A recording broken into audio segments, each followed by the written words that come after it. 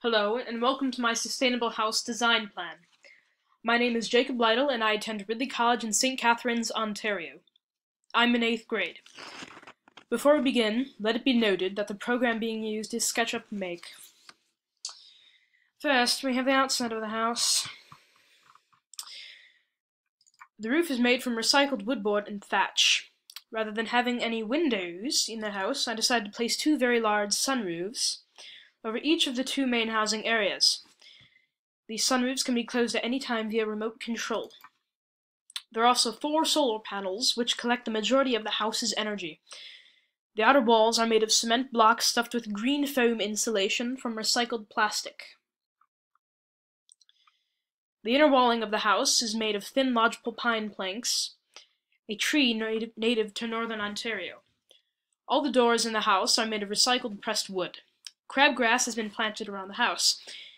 In the unlikely event that you don't know what crabgrass is, crabgrass is a type of grass that does not need to be watered in order to maintain its color. The length of the house is 66 feet, and the width is 39 feet 4 inches. The house and its property are located in northern Ontario. It is meant to house a family of four which will work the surrounding 15 acres of land to provide the majority of their meals. This is just a quick bird's eye view of the house. Now for the kitchen. All appliances in the kitchen have received an Energy Star approval rating, meaning that they consume less energy than normal appliances, and that they don't need as much energy to perform tasks. Also, the stove is electric. A geothermal pipe system, not shown in this shot, provides heating to the house via these ventilation systems. The same pipe system also heats the water that is used for showering and cleaning. Now for the family room. This is the, the house's small family living room, located between the kitchen and the main corridors.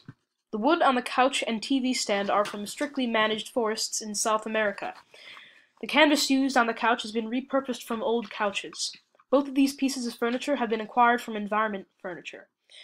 Both TVs use LED lighting, and the other TV is in the master bedroom. TV. The thermostat remotely controls the heat output of the geothermal pipes located outside the house. The maximum heat setting is 72.5 degrees Fahrenheit or 22.5 degrees Celsius. The table and chairs in the dining room have also been acquired from Environment Furniture. The canvas on the chairs has also been repurposed, and the table is made of recycled pressed wood. Now for the utility room. The washer and dryer, seen here, have both received the Energy Star approval ratings. There is a 1,000 gallon per month water cap. Rather than using new water every time clothes are washed or a shower is taken, the water is rerouted to a second heating tank where it is boiled clean. the same cap applies to sinks and the dishwasher. The toilets are bare minimum flushing power using only 0.75 gallons per flush. The bunk bed in the children's room is made from wood sourced from monitored rainforests. It has also been acquired from Environment Furniture. Now each bedroom has its own bathroom. The shower in this room uses water at a reduced rate, totaling around 50 gallons for a 10-minute shower. All furniture in this bedroom, as well as the master bedroom shown here, has been acquired from Environment Furniture and the wood sourced from monitored rainforests. The lamp in this room shown here, as well as all the lights in the house, use LED bulbs.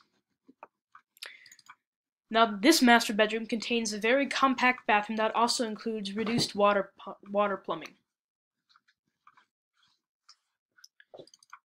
Yeah.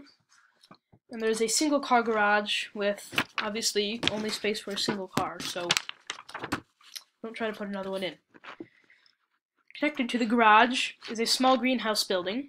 Here, the residents can grow crops that would normally be unable to live in such conditions, such as northern Ontario. Now here is a shot of the main geothermal pipe. Here, heat from the Earth's core helps to warm water in the house. Now, connected to the sloped greenhouse roof is a large gutter basin.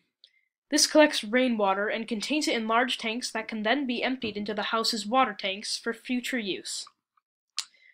And finally, we have a view of one of the house's four solar panels. These collect the house's energy. These collect the sun's energy for the house. Pardon. And this concludes my Sustainable House SketchUp tour. Thank you for watching.